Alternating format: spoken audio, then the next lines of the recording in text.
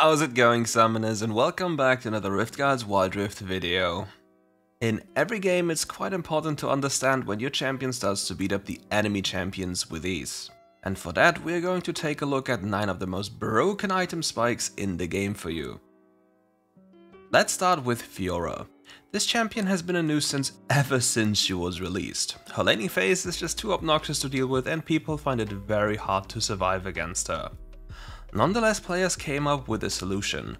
Avoid her overpowered level 1. To do so, you have to walk mid lane and share experience with your mid laner while you try to crash the mid wave as fast as possible. By utilizing this trick, you're attempting to stay as healthy as possible in the early game while you get closer to your required levels. Most champions at least need 2 or 3 levels to get something done against the Fiora, or rather have something similar to counterplay. Even though she has been recently nerfed, she's still an overtuned champion in terms of pure laning. You might wonder why this is such a massive problem, but trading with a Fiora is absolutely toxic in any regard. The massive range of her longevity in combination with the ability to block all incoming damage an enemy has available is quite annoying. It's not really skillful in that regard, it's just overbearing. So fortunately we saw some changes to her second ability's cooldown in 2.6a. And don't worry guys, a bad Fiora player will find it very hard to win games as it comes down to proper macro later on. Teamfights are just not that easy to play unless she's so fat that she one-shots. But if you want to make the most out of Fiora, you also need to adjust your items and if you're into carrying, I can only recommend the following items. Trinity Force into Blade of the Ruined King. That way you're deleting anything in your way without any problem and other than that, Sheen is one of your most toxic power spikes in the early game. Having this 900 gold item basically doubles the power of your first ability, which means you're the one in charge of the lane, at all times. And before we continue, there's something I have to show you. The best builds for every champion, including general and laning skill order, rune setups and summoner spells, we got you more than covered. Check out our newly launched Patreon. We offer everything from exclusive Discord chat experiences, customized roles to premium coaching and more. Interested? Then if you want to support the channel, pick a tier and let's go. Next up comes a champion whose playmaking potential is absurdly high. As people slowly understood that building Trinity Force is actually a disadvantage on this champion, they finally ascended.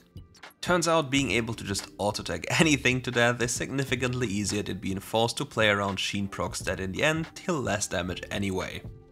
Another thing that makes Irelia so strong is her presence in lane, however it's also linked to certain conditions. If you want to play Irelia in the best way possible, you need to prepare minions in advance. But what does this mean? You want them low enough so you can use your first ability and get a reset on them while the enemy is getting closer to the wave in order to get a few last hits. After you've prepared those minions, you can vanish into the Fog of War for a brief moment while hiding your third ability inside of the fog. Then instantly dash to the minion that is going to die to your first ability and pressure the enemy champion with your movement. Don't forget that the enemy champion doesn't really know about your hidden blade, so he's just going to assume that's your first and not your second part of the flawless duet. And there you go, you'll get an easy kill. For the items, you really spike hard on Blade of the Ruined King and either Wit's End or Death's Dance afterwards. The Death's Dance version is going to let you survive anything as it's the item that makes you the tankiest at that point. And now it's time for our question of the day. Which champion needs to be nerfed as fast as possible and why? As per usual, let me know in the comments below and if you like our content leave a like and subscribe to the channel.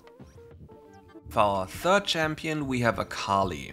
This champion has been nerfed quite a few times and lost her former glory in the early game. From being able to dominate any matchup, she's now forced to be a little bit more tame. In the past, she used to be able to cast 3 of her first abilities on level 1 and now it's only 2, which is quite the bummer for her. Adding the passive nerf on top of that as well, it's quite a huge blow for any Akali main. But you don't really have to worry about Akali being too weak as a champion. She's still more than fine in a solo queue context. I mean, she's an assassin after all.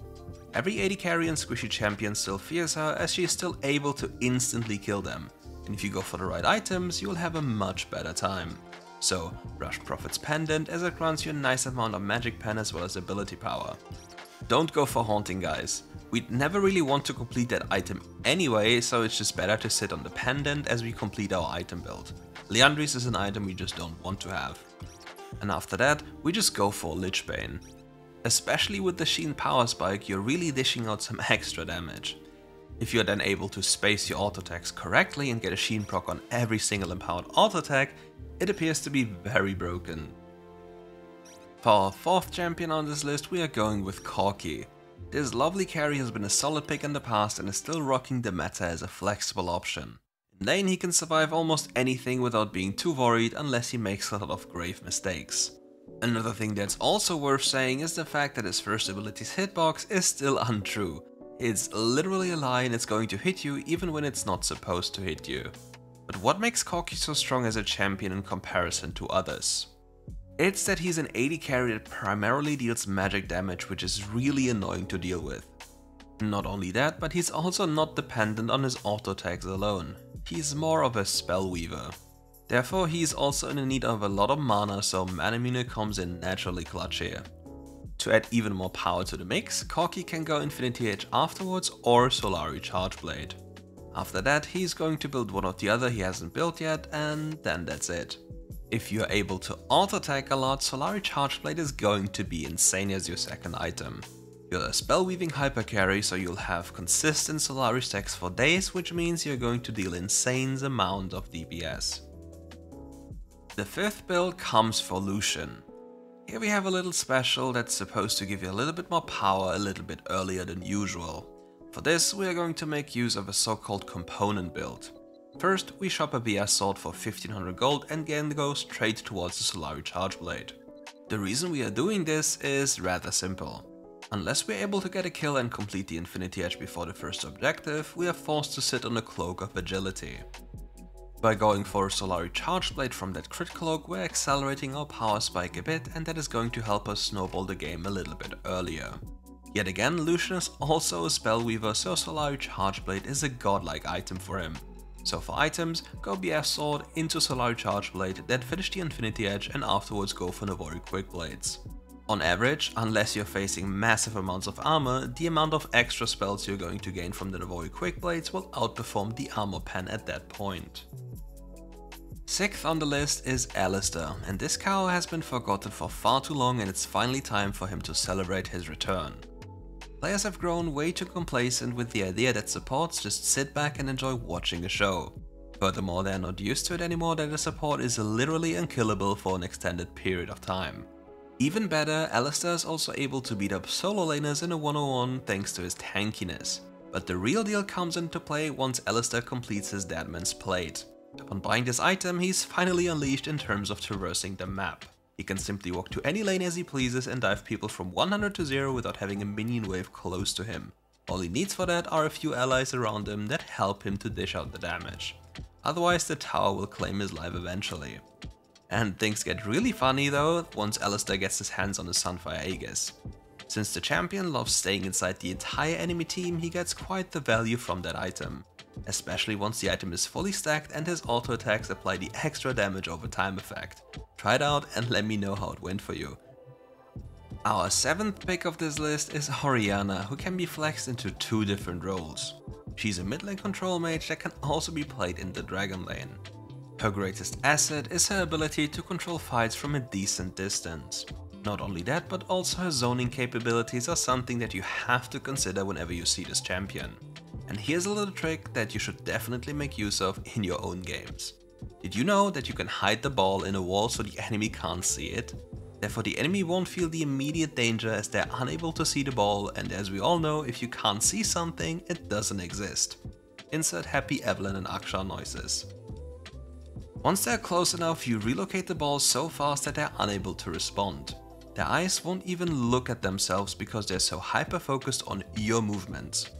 They won't see the ball coming and all that's left for you is to press ultimate and the victory is almost yours. To make sure though that you have the highest damage possible when doing so, I recommend a snowball item such as Luden's Echo into a Rabadon's Deathcap. That way you'll get the highest amount of AP possible, but don't forget you're not as tanky as with an Archangel staff. Our 8th pick is Akshan, and even though he has been nerfed in the most recent patch, he is still strong enough to pack a solid punch. He is still a dominant pick in the middle lane and is still able to influence the surrounding lanes with ease. You can also make the argument that he's quite similar to Katarina in terms of having a kit that benefits quite a lot from resets. Being able to swing around multiple times during a fight can really make the difference as the spell deals an unhealthy amount of DPS. Things also get especially unbalanced once you complete Blade of the Ruined King and Wit's End or Infinity Edge. Thanks to your double on hit mechanic, you're constantly applying on hit effects twice and your third ability also applies them. Obviously, they did a little bit less damage with it, otherwise it would be too broken. Last but not least, we have the ninth build for you. Pantheon gained some more popularity over the course of the season and is a real pocket pick for the Baron and the jungle position. Sometimes you might even whip him out in the middle lane, but that's only rarely an option. But what exactly makes him so strong? Did you ever pay attention to his empowered second ability and what it does? It hits you multiple times while applying on hit effects. Now if you add items like Black Cleaver and Blade the Ruined King to the mix, you can pretty much guess where this is going. You're taking away huge chunks of the enemy's HPs almost instantly and therefore get them closer to the execute threshold of your first ability. Once they're close enough to that HP value, your first ability is going to explode them, and it's literally that easy. And that wraps up today's video. Thank you all for watching and if you enjoyed the video, leave a like and subscribe to the channel to get more Rift Guides content in the future.